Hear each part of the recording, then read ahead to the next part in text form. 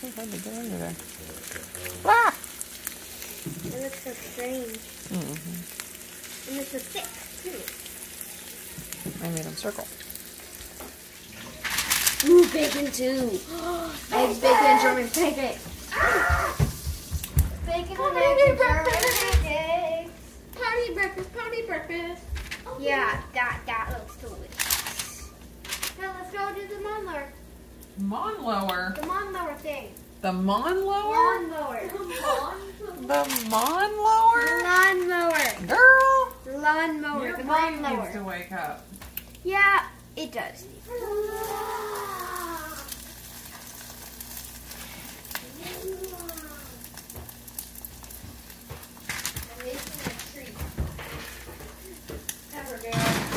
I have a video on these German pancakes from forever ago.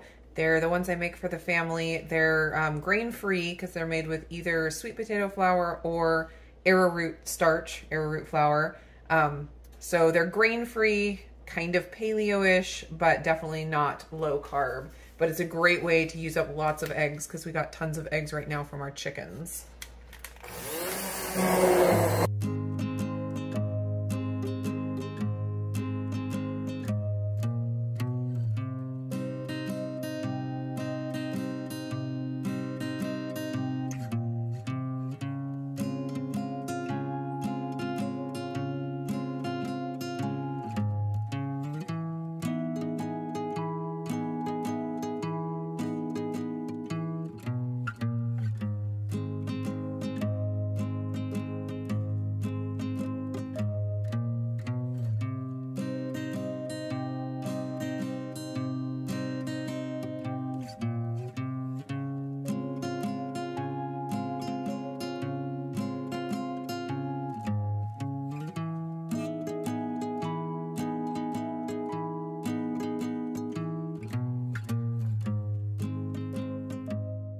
This is my breakfast this morning. These are leftover Hawaiian sweet rolls uh, that I made from Amy Carnivore Angel's recipe. I give these a 10 out of 10 for sure. So, so good. The excitement of the morning around here is that uh, Jeff just got a new riding lawnmower. An old John Deere riding lawnmower came with our house and uh, it lasted us a year, which was great, but it finally stopped running and Jeff couldn't get it going yesterday. So he got a new riding lawnmower and the kids are having fun helping him put that together this morning. Mommy, you put in there. What? May you put in there. Put what in where? Put the bacon in there. Oh, I didn't put the bacon with the eggs because I didn't want it to get egg on it. What do you think of that bacon? Yummy. Oh, good. All right, Charity. What's your amazing breakfast? Bacon, eggs, and German pancake with whipped cream. That's part of a balanced breakfast right there. All right, so I have the German pancakes and the bacon cooking. I'm just going through batches in the kitchen here. That's usually the way it is on Sunday mornings is I do a huge breakfast and have lots of leftovers for the rest of the week. Uh, but usually I'm not finished cooking all of those until like lunchtime. So that's where we're at right now. Um, but we got sent a gift box from the Pork King Good Company. And um, you guys know, if you've watched me a while, I love their products. They have all kinds of yummy things and their flavors are just over the top delicious. You can probably hear the lawnmower outside. My husband's having fun with that new lawnmower and even Talia got to drive it, so it's very exciting. Anyway, so they sent me this awesome care package gift gift box and uh, Renee doesn't know what's in here yet. I, I already peeked, but um, we're gonna unbox it for you and show you what's in here and I am planning on using some of the things in here for my food prep today. All right, are you ready, Renee? what is it? Pork rinds. Pork rinds. All right, so they make all the amazing pork rind flavors. The one on top here is salted butter. Yum. Oh, this is one of your favorites, I know. Yeah. salt and vinegar. These are so good. And a lot of their, yeah, you can share. Yeah. A lot of their um, pork rind flavors are have dairy in them, so I haven't been eating a lot of them, uh, which makes me terribly sad. But the salt and vinegar one, definitely dairy free, so I'm still indulging in that one. All This right. one's my one of my favorite kinds. It's pickle. Oh no, that one's sour cream and onion. Oh, Yeah, there's not a pickle one in here, but it's a good thing that we have some pickle ones downstairs. I thought it was pickle. Yeah, because it's green, but it says onion and sour cream. I just Onion and sour you did that. cream. Oh, there is something pickle flavor in here, though. I'll show you in a minute. All right. White cheddar. White cheddar is super good. Nacho cheddar. And then also their ranch. So, so good. Love the ranch. And then there's pepperoni pizza. You want to show it? This one's pickle uh, seasoning. Dill pickle seasoning. This is so good. This is one we've never had before. We've had some of their seasonings, but this one we've never tried. The smoky jalapeno and cheese. That would be really good on popcorn. This one is Renee's favorite. She loves this one on popcorn. And then, oh, I've never tried this one, but I really want to. It's their taco seasoning. Their seasoning combinations are just so good. Every like every flavor just pops like crazy seasoning salt. Their seasoning salt is really good and it's really different from other seasoning salts because I have the Redmond seasoned salt and this is just completely different. So don't feel like you're getting, you know, double of the same thing because they just taste incredibly different and delicious. Oh, what's that one? I don't know. Onion and Sour cream.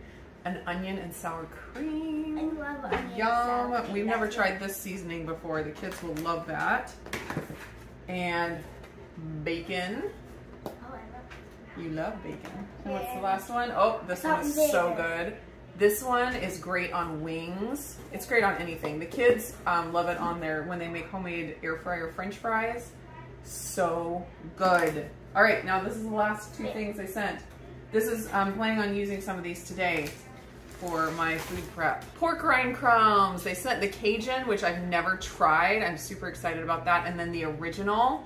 And they have some other flavors. It's like they have, um, what is it, ranch. Ranch flavored pork rinds. So you can do like fried chicken with ranch flavor. Oh my gosh, they have an Italian flavor I've never tried. Um, this is original, but then they also have an unflavored too as well. I have some chicken tenders in the fridge that need to be used and I'm gonna make some pork rind crusted chicken tenders for lunch today.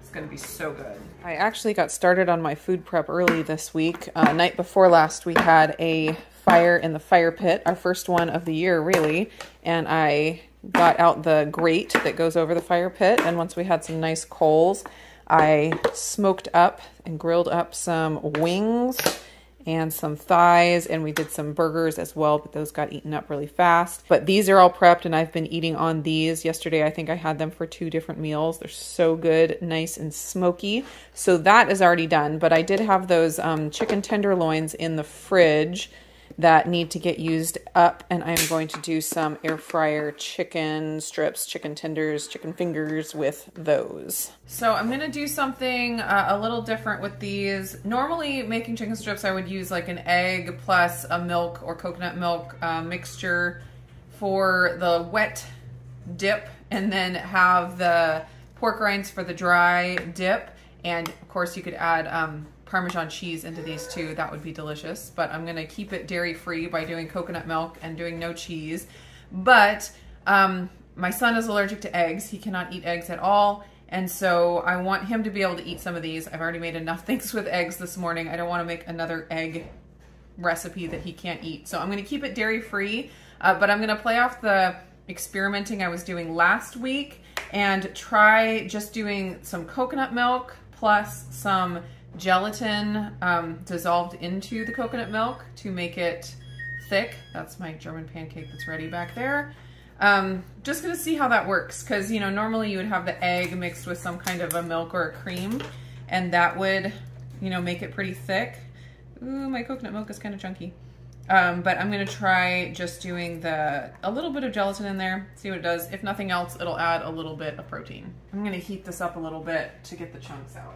So I think I'm just gonna try a one tablespoon of gelatin over the top of this. I'll let it um, Just moisten up and then whisk it together and that'll be good enough. So for the pork rinds, I think I'm gonna actually do a mixture of the original and the Cajun because I want to taste the Cajun and the spice of it, but I don't, I want the kids to like it too. So I don't want it to be too spicy. So I think if I do a 50-50 mix between the two, that would be good. Um, so the original one, um, it does have spice in it and flavor and salt. So I don't have to worry about um, spicing this up at all. It's just all ready to go, which is wonderful. Oh, that smells so good. Very Cajun-y.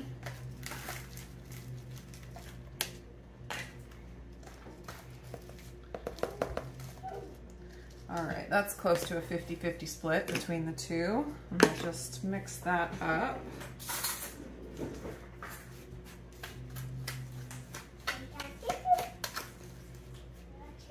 You have a chicken. Don't shoot at me, please. Oh my goodness. Give it to me. Levi just shot a chicken at me. I'm gonna shoot a chicken at you. I would not like to get this in my food, young man. Got you. So Charity, do you remember when you were little, like maybe Levi's age or a little, stop shooting me with the chicken. you stinker. I, you were maybe a little bit older than Levi and we were making chicken strips and you saw the raw chicken tenderloins. Why you gotta shoot me with the chicken, man? Do you remember what you said the chicken tenderloins look like? Yes, I do. What did you say? I called them squirms. Squirms? And what what did you mean when you said squirms?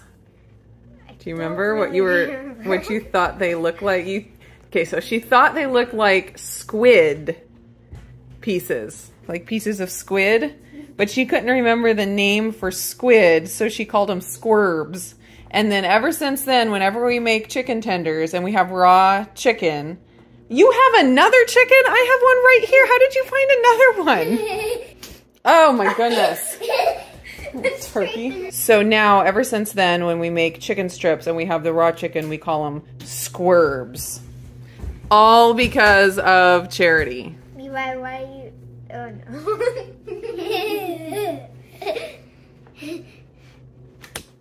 You weenie pants. You- hey, you just shot all our friends from YouTube. I'm gonna shoot you. Yeah. I'm gonna whisk this up a little bit. I might need to heat it up a little bit more to get this um, gelatin to, to dissolve. It kind of, kind of clumped. So I don't know if the gelatin's gonna make any difference at all, but I did let this cool down a little bit because I don't wanna put hot coconut milk onto the raw chicken. So it is cool and I'm gonna pour it on here, get these all coated, and then one by one I will dip them in the pork rinds. So this recipe actually works really well as a freezer recipe. If you um, just get everything coated and then dipped and then you lay it on a pan, like a parchment paper lined pan, then put it in the freezer, let them freeze like in a single layer, and then you take them off and put them into a freezer Ziploc bag. You can pull out, you know, a couple at a time or however many to um, make your dinner. And it is perfect. Actually, I think they even cook better from frozen than from fresh because they um, don't get dried out as fast because it takes longer to defrost, but it still has enough time for the outside to get really crispy. So I'll kind of see how many I cook here for lunch because I know everybody's gonna want some. Um, if there's some extra, I might freeze whatever is left. So I can see that the um, coconut milk and gelatin on the chicken, once it got onto this cold chicken, is kind of gelling up a little bit and actually it's working pretty well. Uh, so it's more like an egg would cling to the chicken because it's thicker. I got five chicken strips in my little bitty air fryer. I think I'll probably cook them about eight minutes. Um, they're gonna cook really fast and I don't want them to get dried out inside. All right, while those ones are cooking, we're gonna get the rest breaded and Charity's gonna be my helper. You can say hi. Hello. All right, so you're gonna grab the squirb Square. and throw it into the breading and I'll coat it. I feel weird. And I know. I'll, and I'll coat it and then I'll put it on the pan here and we'll either throw them in the air fryer or throw them in the freezer depending on how far we get. Ready? Go.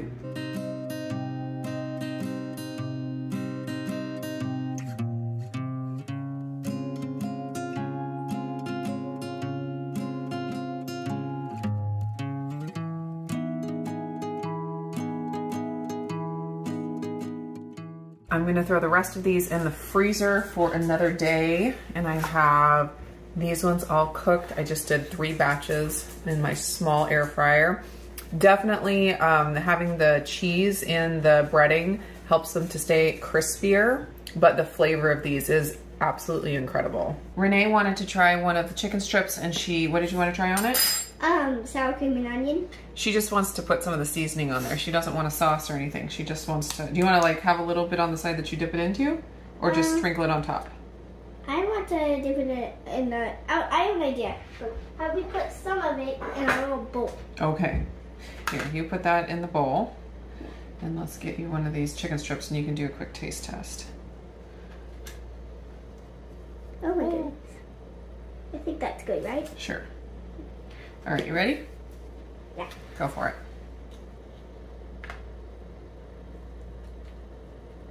I really like it. Yeah? Try try some of the chicken strip without the um, dip of Okay. the seasoning and see what you think. I still like it. You still like it. And then the, the salt, um, sour cream and onion makes it even better. Onion and sour cream makes it even better. All right. I need water. Oh yeah, because it's pretty salty. Here, take this. Okay. and you can go eat your lunch and get your water. I'm gonna make a little bit of a dip um, for some for me for my lunch. I'm gonna just use some avocado oil mayo. I don't have any homemade mayo at the moment, even though it is super easy to make. I don't need very much.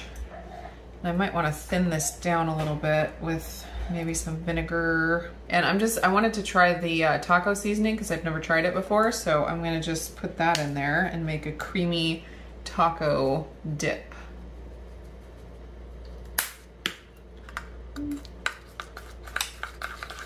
Well, I guess I'm out of apple cider vinegar, so I'm just gonna do a drip of lemon juice to thin it out.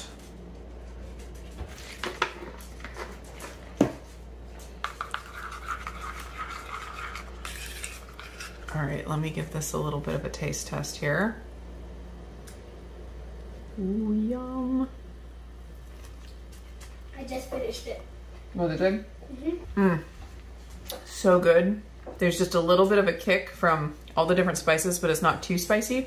I don't like it too spicy, but it's really, really yummy. So got a bunch of bacon left over, which, you know, is totally unusual to have leftover bacon. Um, I found that I have to cook like four or five pounds of bacon in order to get any leftover if I want to like meal prep it. Um, I still have, there's still a lot in here. So I was thinking I'd just leave this on the counter until enough is eaten that I can put the lid on. And that will be how much I save for the rest of the week. I got the kids a bunch of German pancakes uh, for the week that they'll be able to munch on. These will probably get eaten here in the next couple of hours uh, by everyone, but I also have that pan in the freezer. Once they're frozen solid, I will put them into a Ziploc bag, and that'll be nice to grab, you know, a few out at a time as needed. I have a whole bunch of bacon grease saved, even beyond my bacon grease container. Oh, there it is.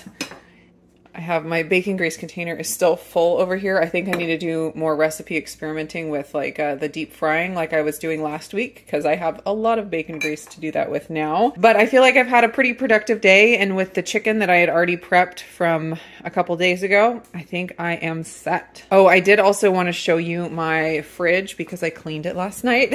I don't show you my fridge very often because it's usually filthy, but I actually cleaned it last night so I'll give you a quick fridge tour here. Autumn made some homemade ranch. She's trying to eat lower carb these days just to feel a little bit better and have more energy. So she's been working on some low carb recipes, which is exciting. Pickles that are Talia's favorite. This is some of my um, parfait like I showed you in the short video um, a week or two ago. But um, I used a blue raspberry electrolyte mix that I got on Amazon. I think it's like Key Elements or something like that. I didn't like the electrolyte drink as a drink, and so I thought I'd try it as a parfait um, jello. I still don't really care for it. It's kind of bummed because it was cheaper. Um, let's see, all kinds of condiments like olives and peppers and things back here. Sour cream, half and half. Some of our eggs. I used up so many today that we're actually running low, but I bet if I walked out to the chicken run, I could get some out there. Uh, that chicken I showed you, the kids' rice Oh, this is some more of those um, crepe noodles that I showed you in my what I eat in a day video from the other day. Let's see anything else exciting. That's the leftover fried eggs from this morning. This is some jello. Um, Levi was watching me make the parfait and that has the egg whites in it and he wanted some jello with no eggs. And so I made him some jello with no eggs. That's it. Just other random stuff back here. Bacon crumbles from Costco yogurt. This is the cheese drawer, apparently, plus cabbage in the back. Uh, Babybel cheese and cheese sticks for the kids. Veggies, drawer, all kinds of different things in here. I got some ripe avocados that need to be used. Cheese and meat drawer. Got my beef biltong in here. I love that for taking when I'm going out different sliced cheese, um, Polish sausages, the Teton Waters ranch sausages, pepperoni, salami. And then, of course, I have my RX syrups up here. I have all the different flavors, uh, and they're delicious. Some other random things, butter, Parmesan cheese, different condiments, a variety of dairy, a variety of mustards, more condiments, coconut aminos, salsa, fish sauce, Frank's Red Hot sauce, teriyaki sauce that my husband uses, and I think that's about it. But just had to show off my clean refrigerator.